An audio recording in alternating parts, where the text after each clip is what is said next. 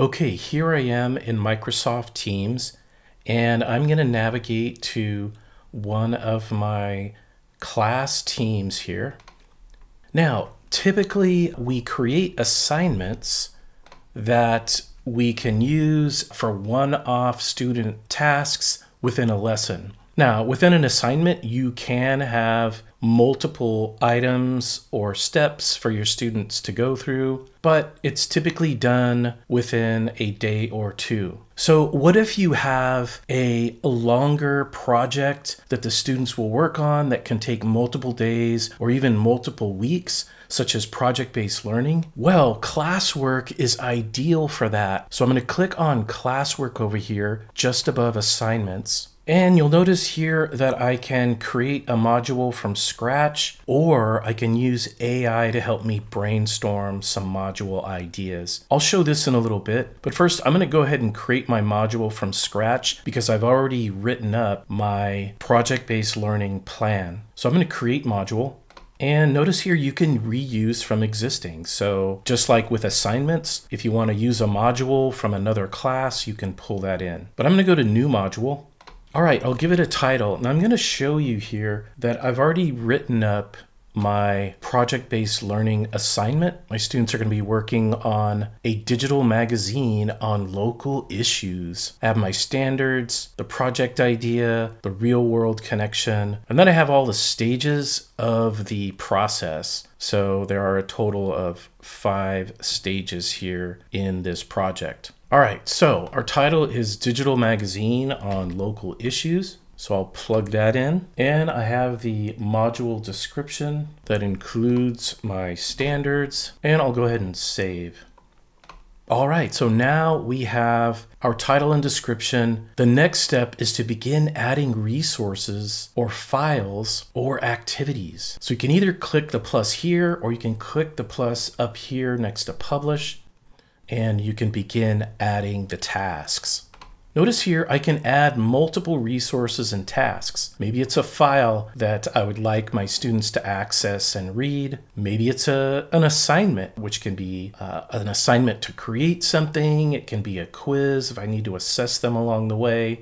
We have class notebooks, so if you have a page in your class notebook that you'd like to pull in and have them review, you can do that as well. You can add a hyperlink, so you can take your students to any website for them to go, for example, do research. And then here is Teams channel. And so the value of this is you can point students to a specific channel in your team where they can have conversations and share resources. All right, so in looking at my project outline. So stage one is to research local issues. Students will conduct research to gather information about local issues such as environmental concerns, social challenges, cultural events, They'll also learn how to analyze the impact of these issues on the community. So this stage is researching what those local issues are. So I'm going to start out by having them actually conduct research. So I'm going to start by having them actually go out and poll the students and adults on their campus. So I'm going to add a file that explains this task. And this is a new file. I haven't created it yet, so I'm going to go ahead and click New File, and I'll select a Word document. All right, the document's name is Local Issue Research. Done. Okay, so here's the file queued up and in the more menu here off to the right, I have some options and students will have these options as well. If they'd like to download the file, they can do that. And then I have the ability to edit the name or delete the resource. The other thing I can do is open this up and edit the file. All right, so here I'm gonna put in my instructions for this activity. Okay, so here are my instructions for the students on how they will conduct research on our campus. All right, so when I'm finished here, I can go ahead and close this. And now keep in mind, students will not be able to edit this file. It will just be a read only. All right, so my next task within the module here is for them to then analyze the results of their research. And they'll be doing this within Microsoft Excel. So I'm going to go back up to the plus to add another resource. And in this case, it's going to be an assignment because I'm going to want them to upload their results to the Teams assignment tool. So I'll go to assignment, new assignment. All right, I'll put in the assignment title, analyze your research data. I'll put in the instructions.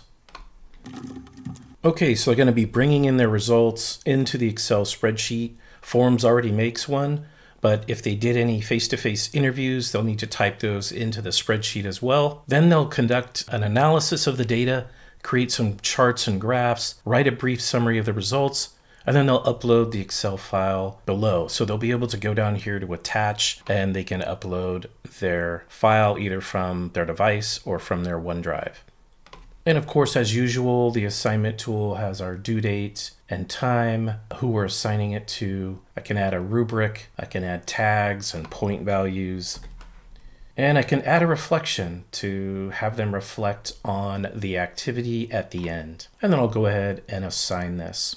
All right, so now the other thing I'd like them to do is actually conduct research online. So I'm going to add another task up here, and this is also going to be an assignment, but I'm going to use the Learning Accelerator called Search Progress. This is perfect for when you want to have your students conduct research online. I'll enter the title, Local Issue Research Online. I'll enter the instructions. So they're going to be opening the link below to get started. They'll find at least five resource sites but they can find more as well. And then when they're finished, they're going to share them with their team. All right, so down here, I'm going to go to Learning Accelerators, and I'm going to choose Search Progress. Here's a little introduction, some information on how to get started. All right, so what your students are going to be doing is they're going to be able to search the internet right in here. They're going to be able to filter by domains. They're going to be able to filter by file type, date range, and they can also use the Boolean operators to help them with their search. Then, when they find a resource they like, they're going to explain why they chose it. And then at the end, they're going to reflect on which ones were most helpful. But I want to call out that I can actually change these prompts if I'd like to. Up here, we're going to see that it's set to five sources. They need to find at least five. This can also be adjusted. Here is citations. So if you want, you can require that students include full APA citations. If you don't use APA, you can go ahead and turn that off and not require it. And down here, we have Customize Search Coach. So here we can change our theme. And then here, with the filters that they can use, if you want to turn these off, you can selectively do that. All right, and just to show you the student view, what this will look like for them is they'll have the search box here.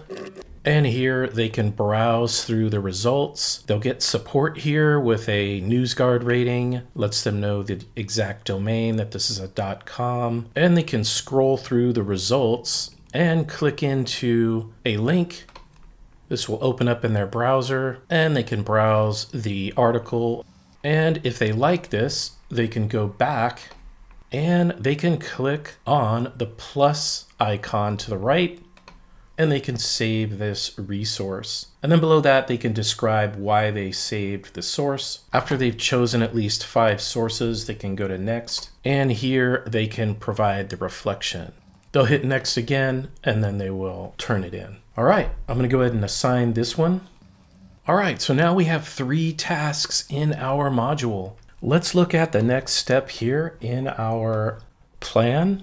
So after researching local issues, they're gonna go ahead and learn about interview techniques and ethics. The next step here is on interview techniques and ethics. The students will be interviewing local experts and other community members on specific issues. So they'll learn how to craft thoughtful and relevant questions, and will also learn ethical considerations when conducting interviews. All right, so the first thing I want them to do is actually have a discussion about how to conduct interviews and craft questions. So to do this, I'm going to start a conversation in a channel that I will direct them to to have an online conversation. And this will be available to everyone in the class, not just their group. So I'm going to come up to the plus icon and I'll go to Teams channel. So before I do that, I need to actually create the channel. So I'm going to go up here to the three dots next to the class name, and I'm going to add channel.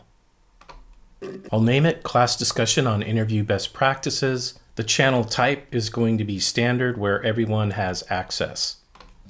And I'll create.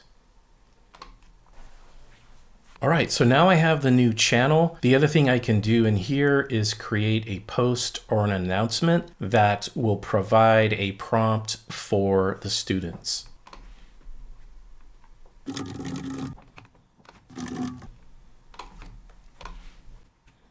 All right, so first the students are going to read the following article. They'll click here and then they'll discuss the following questions as they respond within this discussion. I'll go ahead and click post to make it available. All right, so now when my students come into this channel, they will see the announcement here, the instructions, and they can click reply to get started. Now, one of the things that I like to do is I like to go into the channel permissions, manage channel. I like to set moderation here on, which means that only moderators can start a new post and moderators are basically team owners. What I like about this is they'll be able to reply to this conversation, but they won't be able to start a new one. So now let's go back to our classwork module. I'll go back into classwork. Here's my module. It's still in draft mode. I'll open it up. And now I will add the Teams channel task. I'll go to plus and I'll go to Teams channel. Here, I'll select that channel I just created and attach.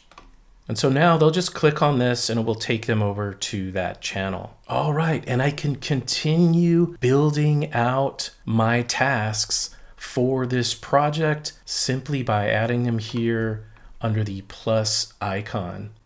When I'm done, I'll go ahead and click on publish. I'll go ahead and click publish now so you can take a look. All right, so now when my students go into classwork, they're going to see this as a new module and they can begin stepping through all of the tasks. We can click on student view here to see what that looks like. And there you have it. All right, and that is how you use classwork. Okay, so I promised you that I would show you how to use a little bit of AI to help you brainstorm some of your module ideas. So I'm going to go back down here to add module and we'll use the module ideas using AI. All right, here I provide my subject, my grade level, and the language. Notice you can select different languages as shown here. I'll click next all right, and here it's asking me, what do you want students to know or be able to do upon completing this class? Now, this is going to brainstorm a variety of modules to put throughout your class throughout the year, but you can use it as well if you're just trying to plan one module.